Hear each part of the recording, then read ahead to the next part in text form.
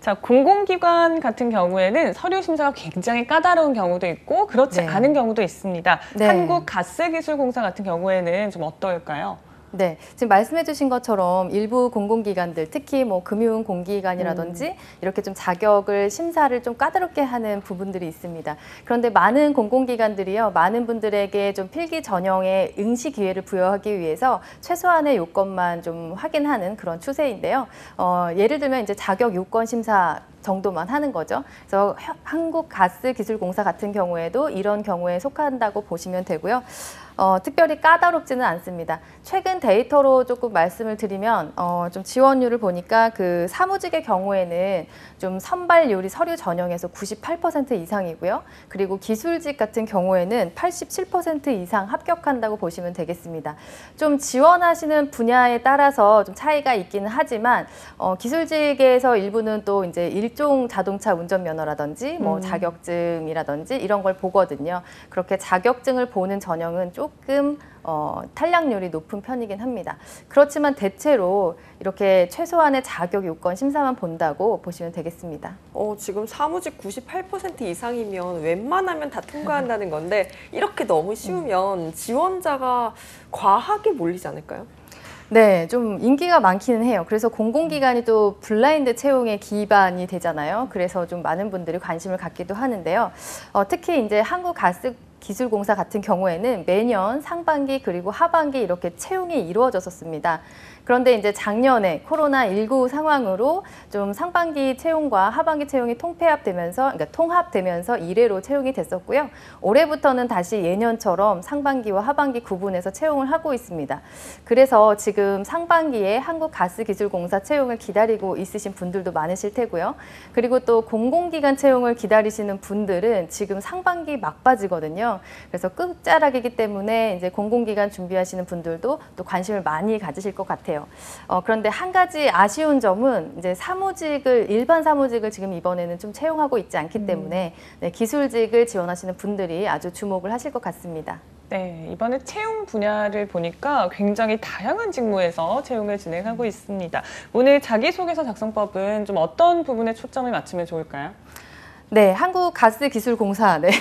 좀 길, 길, 네. 기네요. 제가 좀 발음에 유의를 해야 되겠습니다.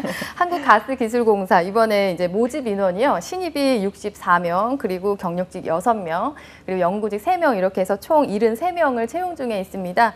어, 이 중에서 이제 가장 많은 인원이라고 한다면은 어, 6급 이하 일반직 그 분야인데요. 일반직 그 직급이 35명, 아주 최다 인원을 뽑고 있습니다. 그래서 이제 제가 오늘 설명을 드릴 때는 모든 분들이 자기 자, 그 자기소개서의 기본 틀, 그리고 구성 방법 이런 것들을 좀 참고하실 수 있겠고요. 다만 제가 조금 예시를 들면서 설명을 드릴 때는 6급 이에 어, 직무 기술서라든지 이렇게 예시를 들면서 말씀을 드릴 예정입니다. 네, 그러면 오늘 우리가 가장 주요하게 얘기해 보려는 게 자기소개서인데 자기소개서의 특징이 좀 있을까요?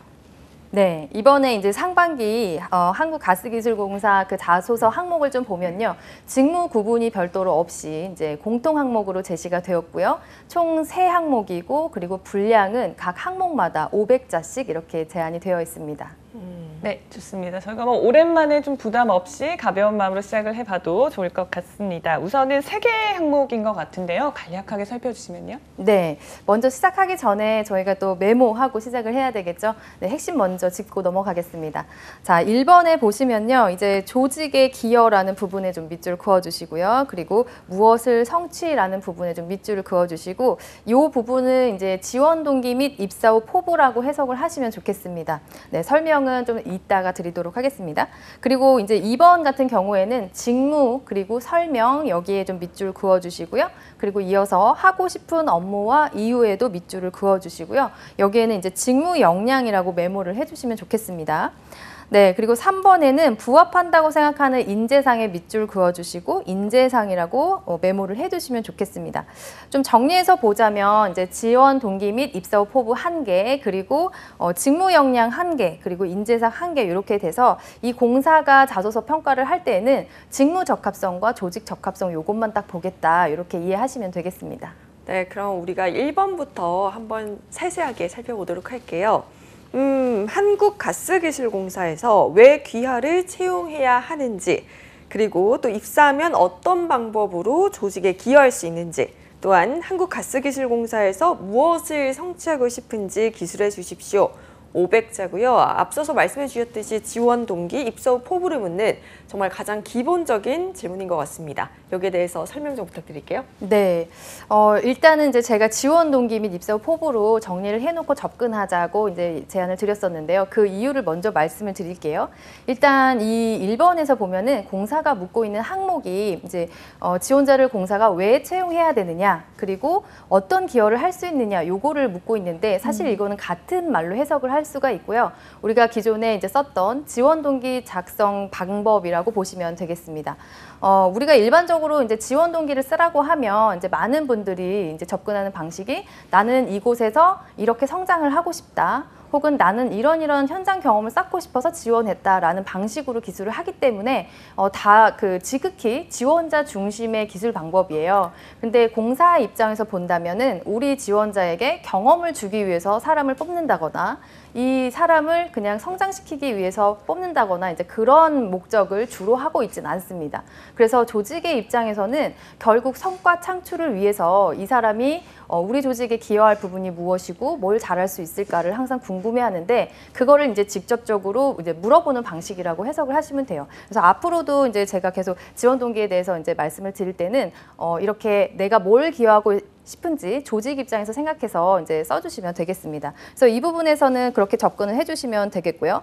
어, 그리고 이제 지원 동기에서 내가 이 부분에 지어, 어, 기여를 할 수 있고 잘할 수 있기 때문에 나는 이 조직의 그 성과 창출에 기여할 수 있다. 이런 부분으로 좀 어, 접근을 해주시면 좋겠고 그리고 두 번째에서는 무엇을 성취하고 싶은지는 이제 지원자의 경영 목표를 먼저 제안을 해주시고 그리고 그렇게 성장하기 위한 어떤 방법과 어떻게 좀 기여를 할 수 있는 그런 부분 그리고 성장 잠재력 이런 것들을 좀 표현해 주시면 좋겠습니다. 네, 좋습니다. 그 말이 진짜 와닿네요. 지원자 중심의 그런 음. 답변이 아니라 정말 회사가 무엇을 원하는지, 조직에 어떻게 기여를 할 수 있는지 이걸 음. 통해서 지원 동기를 좀 작성해 보면 좋을 것 같습니다. 입사 후 포부도 좀 마찬가지 맥락이겠죠? 네, 그래서 이제 제가 그 설명을 조금 더 드리자면 이제 네. 구성을 먼저 제안을 드릴게요. 일단 지원 동기하고 입사 후 포부를 저는 이제 한 달러씩 좀 구분을 해서 쓰셨으면 좋겠어요. 500자이지만 그 내야 그 속에서도 다 구성이 필요하거든요.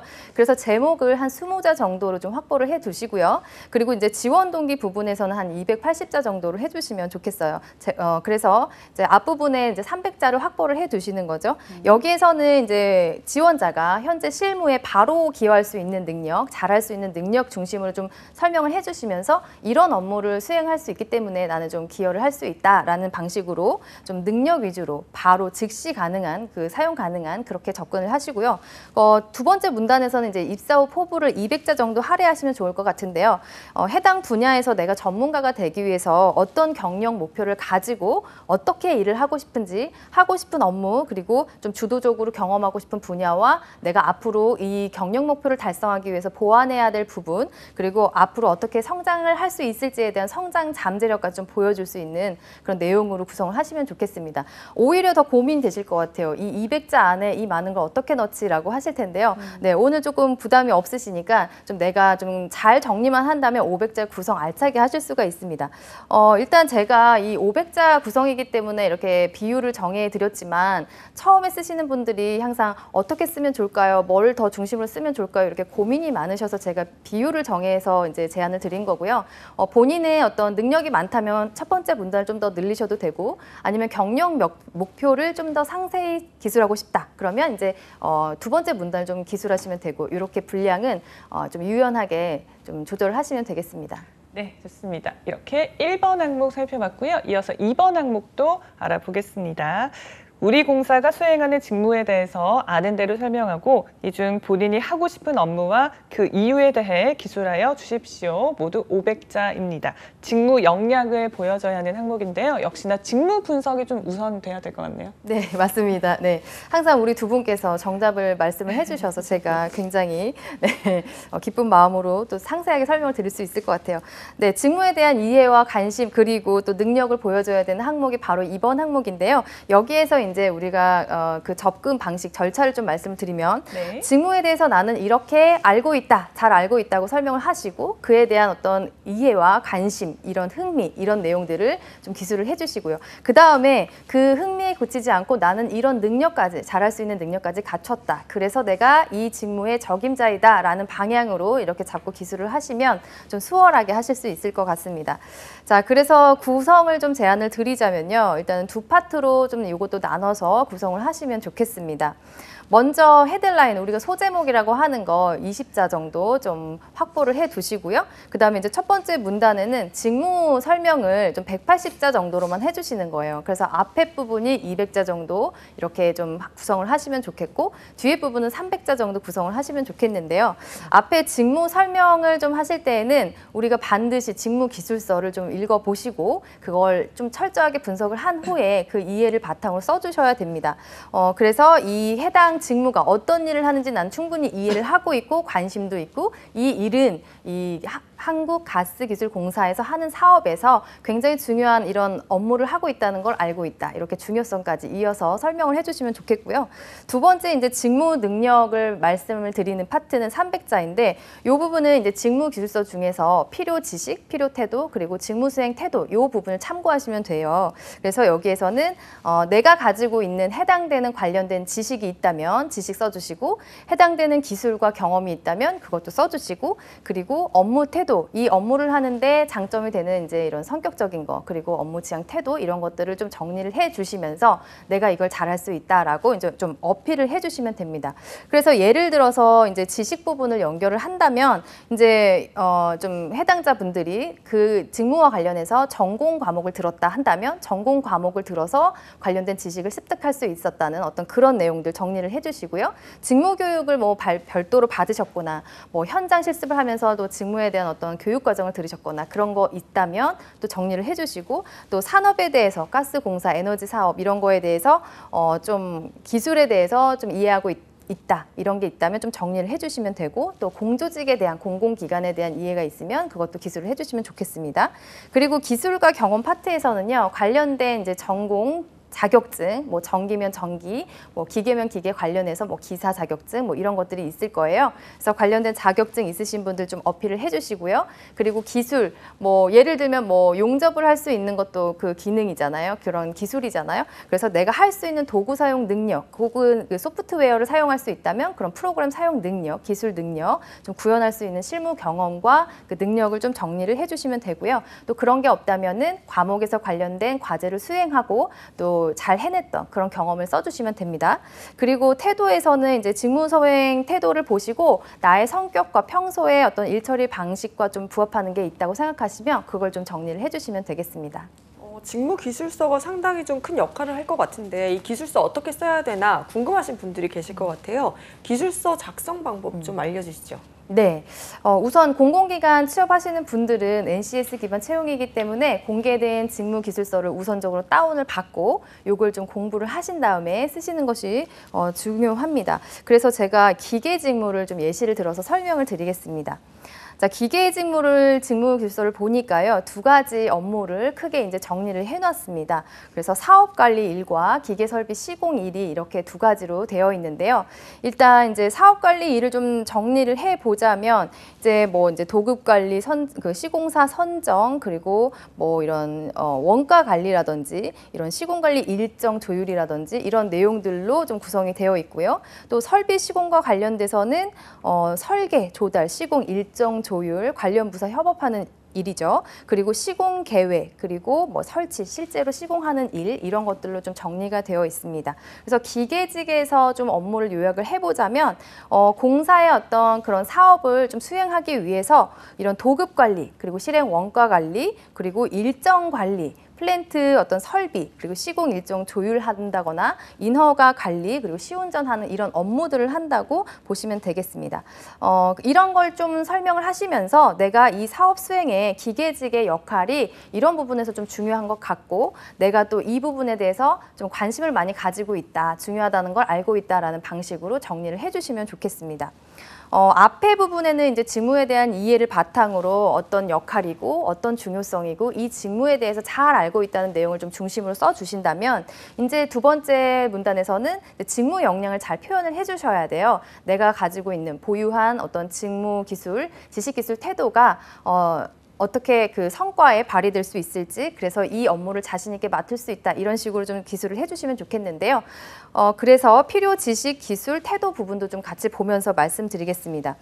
어, 여기서 직무기술서 이어서 보시면 굉장히 내용이 많기 때문에 어, 제가 일부만 이렇게 발췌를 해서 보여드렸어요. 그래서 이 제가 가운데 이 선도 구분을 해놨는데 그게 사업관리 업무와 설비 시공 업무가 요구하는 지식기술 태도가 다 구분이 되기 때문입니다. 그래서 요걸 보시면 지식에서 어, 이제 공정과 공정에 대한 어떤 구분, 지식, 그리고 일반 계약이나 특수 조건에 대한 어떤 이해를 하고 있어야 되고, 품질 시험 뭐 계획서에 대한 내용을 알고 있어야 된다. 이런 것과 관련해서 공부를 하신 부분이 있다면 좀 어필을 해 주시고요. 혹은 관련된 어떤 어, 전공 과목에서 수업을 들은 게 있다면 그거 부분도 좀 표현을 해주시면 좋겠습니다. 그리고 필요 태도에서 보면은 원가 관련해서 프로그램을 좀 활용할 수 있다. 어, 혹은 자재 수급 관리해서 내가 좀 얼마나 그 자료 그 자원을 잘 활용할 수 있는지 그 능력이 있다. 경험을 하셨거나 좀 실제로 할 수 있는 능력을 가지셨다면 기술을 가지셨다면 이 부분도 좀 이해 어, 좀 표현을 해주시고요. 그리고 태도에서 공정 관리해서 요구된 어떤 사항을 어, 좀 이해하고 또 요구 사항을 받아 들이는 어떤 합리적인 태도 그리고 정확하게 판단하는 자세 또 그리고 유연하게 환경의 변화 그 변화에 대응하는 유연성 이런 것들이 이제 사업 관리에 관련된 지식 기술 태도입니다. 그래서 이 부분을 좀 공략하실 분들은 이 왼쪽에 있는 부분들을 좀 보시고요. 그리고 오른쪽에 또 나와 있는 직무 그 지식 기술 태도가 좀 나와 있거든요. 그래서 설비 시공으로 하시는 분들은 좀 이렇게 신기술 인증, 특허, 뭐 관리 지식 이런 것들 좀 배우신 게 있다면 알려주시고 안전보호구 우리가 수업 시간 또 배우잖아요. 그래서 그런 부분 좀 자- 제대로 이해하고 있다. 그리고 기계공학 용접 방법, 비파기 검사 이런 것과 관련해서 전국 수업을 받으신 분들은 또 좀 어필을 해주시고요.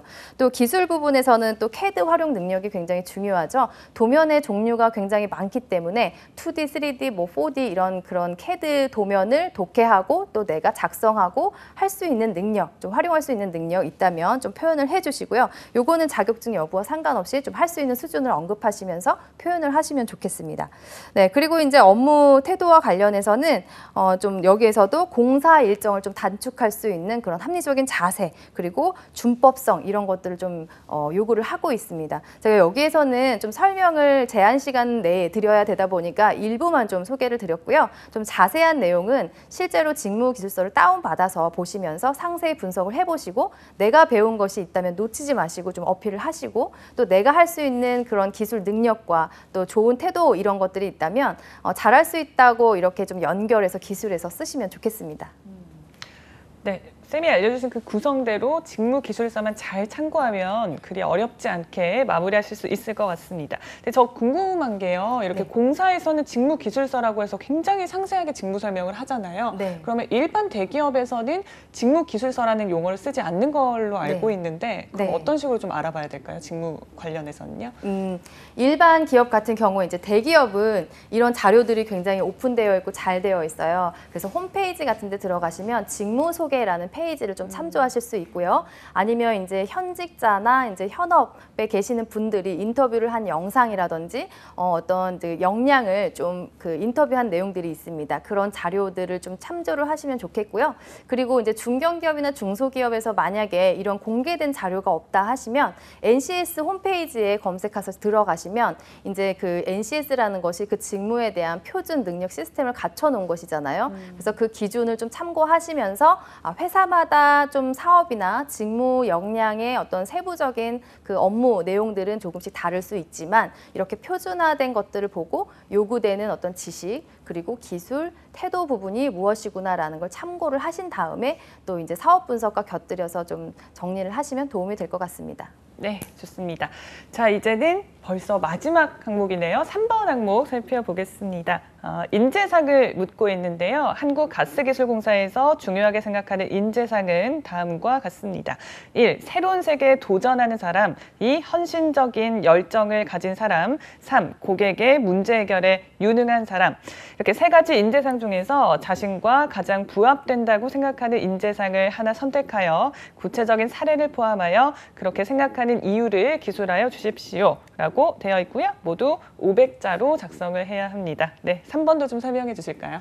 네, 우선 이렇게 인재상과 관련된 거는 이제 조직 부합성, 조직 적합성이라고 하는 것을 좀 본다라고 이해하시면 되겠고요. 이것들을 볼 때는 우선 내가 이 단어만 보고 자의적으로 해석하지 않는 그런 우를 범하지 않아야 합니다. 그래서 이런 인재상, 뭐 핵심 가치 이런 것들을 이제 공사에서 정했다면 어떤 취지와 목적에 의해서 이런 단어를 선정을 했는지 이런 인재를 어, 지향하는지 그걸 먼저 이해를 해야 되거든요. 그래서 인재상을 먼저 살펴보겠습니다. 자 홈페이지에 보시면 이제 공사가 어, 수립한 인재상이 있는데요. 세 가지가 있습니다. 첫 번째 이제 challenge 도전이라고 해서 요거를 어떻게 설명을 했냐면요.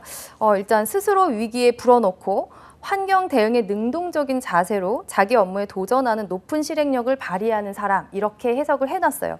그래서 요거를 좀 짧게 정리를 하자면 환경 대응에 능동적으로 좀 대처를 해야 되고 또 높은 업무 실행력을 좀 발휘할 수 있는 사람이어야 된다라는 거죠. 그러니까 이제 위기에 나를 좀 불어넣는다. 좀 약간 무섭긴 하지만 이 부분은 어. 일단 주변 환경이 어떤 경제나 사회나 어떤 정책이나 이런 이슈들이 굉장히 많이 빠르게 변화하고 있습니다. 이런 부분에서 수동적으로 업무에 임하는 사람보다는 좀 내가 그런 거에 좀 두려워하지 않고 능동적으로 대처할 수 있고 좀 새로운 업무를 좀 즐기는 사람 이제 이렇게 좀 해석을 하시면 되, 겠는데요 어, 일단 이 도전 같은 경우에는 내가 할 수 있는 항시할 수 있는 의무와 같은 것들을 도전으로 삼지는 않죠. 조금 더 높은 목표를 목표를 가지고 있는 것들을 이제 도전이라고 합니다. 그래서 여러분들이 이제 경험하신 것 중에서 좀 연결을 해보자면 어, 좀 내가 어려운 과제를 수행했던 경험을 좀 여기에 매칭을 시키면 어떨까 이런 생각을 좀 해봤어요.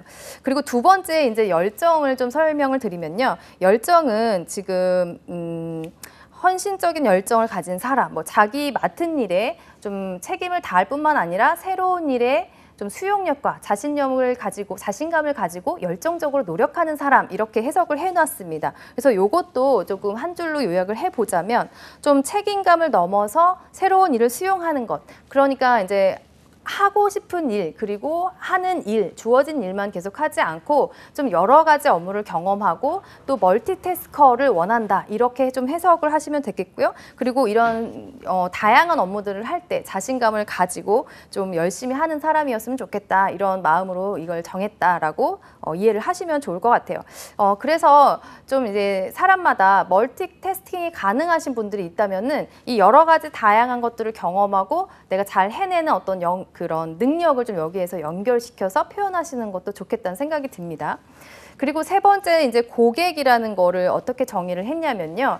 어, 맡은 분야의 최고 전문가를 지향하고 완벽한 가치를 제공하는 동시에 시장과 고객의 변화에 대응하기 위해서 능동적으로 문제를 발견하고 해결함 이렇게 이제 해석을 했거든요. 어, 요것을 본다면 일단은 이제 제가 한 줄로 요약을 해보면 시장 또는 이제 고객 변화에 대응하는 능동적인 문제 해결 방식을 요구한다라는 건데요. 이 문제 해결이 크게 두 가지로 구분을 할 수가 있습니다.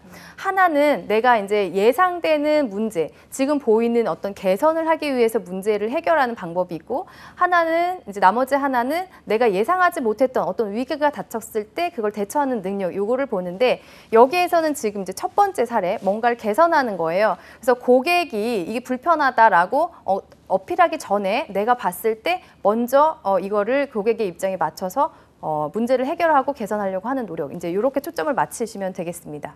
네, 지금 우리가 짚어본 도전, 열정 그리고 고객 이런 세 가지 인재상을 활용해서 3번 항목을 어떻게 써야 잘 쓴 자소서가 될지 이 부분도 짚어주세요. 네, 알겠습니다. 네, 그러면 이제 먼저 이것도 이제 구성을 말씀을 드리면 500자 알차게 좀 해볼게요. 어, 일단 제목 20자 정도 확보를 해 두시고요. 그리고 이제 요약을 100자를 한번 이제 해주시는데 여기에는 어, 인재상 세 가지를 우리가 해석했기 때문에 이 중에서 내가 가장 부합하는 인재상이 있다라고 하면 하나를 선택해 주시고 어, 그것이 무엇이다, 왜 부합한다라는 것을 이제 두 갈씩으로 핵심 문장으로 요약을 해 주시는 거예요. 그리고 나서 이제 380자 정도를 내가 관련된 어떤 대표적인 경험을 소개하는 그 분량으로 채워주시면 되는데요. 어, 일단은 이제 도전을 선택하신 분들은 예를 들어서 자기 개발을 한 경험, 네, 어, 도전, 새로운 분야에 도전하고 높은 목표에 도전하기 위해서 내가 지금 좀 꾸준히 전문가가 되기 위해서 뭐 자격증을 취득한다 혹은 그 분야의 공부를 계속 꾸준히 한다, 자기 개발하는 사례가 있다면 그걸 좀 어, 생각을 해보시면 좋겠고요. 그 다음에 어, 좀 전에도 제가 힌트를 드렸지만 어려운 과제를 수행했던 경험, 그래서 난이도가 지금보다 내가 할 수 있는 그 난이도보다 조금 더 높은 목표를 정하고 그 과제를 잘 수행했던 경험을 사례를 들면서 내가 이제 도전과 인재상이 잘 부합한다라고 기술을 하시면 되겠고요. 어, 열정으로 좀 선택을 하실 분이라면은 어, 다양한 분야에서 내가 이렇게 좀 융합적 사고 혹은 다양한 관점에서 공부하고 싶어서 내 전공 분야 말고 이외의 다른 분야들도 난 좀 다양하게 공부를 했다라든지 아니면 에너지 산업과 관련해서 좀 다양한 기술을 또 습득하고 혹은 이해를 하고 그런 노력들을 했다라는 게 있다면은 그걸 좀 써주시는 것도 괜찮고요. 혹은 실제로 뭐 현장 실습이나 뭐 실습을 그 인턴을 하신 분들은 그 일에서 열정을 보여주신 그런 사례가 있다면 그걸 써주셔도 좋습니다. 그리고 세 번째 고객을 선택해서 쓰실 분들은 어 일단 그런 현재의 트렌드와 또 고객의 어떤 특징 이런 것들을 먼저 파악하고 그걸 반영을 해서 불편을 호소하기 전에 먼저 내가 그 문제를 잘 해결해서 만족도를 높인 경험이 있다면 고객 응대 나 어떤 거래처에게 좀 그런 만족도를 좀 준 그런 대표적인 사례가 있다면 이런 걸좀 어, 기술을 해주시면서 어필을 해주시면 좋을 것 같아요. 그래서 어, 많은 사례가 있을 텐데 이 부분에서는 조금 내가 그동안 준비했던 그런 내용들 직무기술서와 함께 뭐 정리를 해보면서 대표적인 경험을 하나를 제대로 하나 쓴다라고 생각하고 어, 세개 중에 하나 대표적인 거를 잘 써주셨으면 좋겠습니다. 그리고 마무리는 항상 내가 어, 이 회사 조직에서 잘 부합하고 그리고 잘 적응해 나가고 또 나는 잘 기여를 하겠다라는 어떤 다짐과 같은 메시지를 마무리를 주시면 아주 꽉 차고 또 패기 있는 그런 내용으로 구성을 하실 수가 있습니다. 네, 여기까지 세 개 항목을 모두 살펴봤습니다. 마지막으로 지원자 여러분께 한 말씀 해주신다면요. 네, 한국가스기술공사의 직무기술서가 굉장히 많이 종류가 많거든요. 음. 그리고 또 세분화되어 있습니다. 그래서 요거를 좀 공부하시려면 시간을 좀 많이 할애를 하셔야 돼요. 그래서 닥쳐서 하시기보다는 내가 지원하고자 관심하고자 하는 그 관심 있는 그런 사업 분야에 해당하는 기술서, 그러니까 기계라도 여러 가지 사업에 해당되는 기계 업무가 있고 또 전기라도 또 이렇게 세분화가 되어 있기 때문에 그 부분 좀 구분해서 꼭 어, 실수 없이 쓰셔야 된다는 부분 그리고 어, 이 한국가스공사 그리고 가스기술공사 그리고 가스안전공사 이 비슷한 이 가스 에너지와 관련된 주요 사업과 관련해서 사업을 하고 있는 그런 특징이 좀 다르기 때문에 이 부분을 좀 처음부터 이해를 하시고 내가 어떤 사업인지 이해하고 어떤 직무인지 이해하고 내가 잘 준비를 했다 이런 방식으로 좀 잘 써주시면 좋은 결과 있으실 것 같습니다.